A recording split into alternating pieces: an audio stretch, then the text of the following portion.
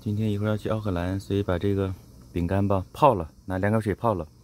要不直接吃可能对牙不好啊，给它泡软了，还吃着不错啊。发的这个饼干啊，这是煮的鸡蛋啊，拿凉水泡着准备吃。这是黑豆大米饭在煮着，一会儿带上去奥克兰带着吃。